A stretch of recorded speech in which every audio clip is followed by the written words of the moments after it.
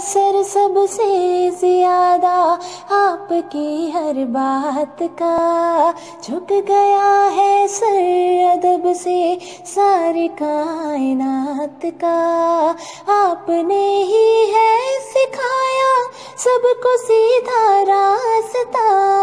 खुश नसीबों का जुड़ा है आपसे राबता। रहमते जहाँ में आप पर हो बेपना बेपना हो जिता लन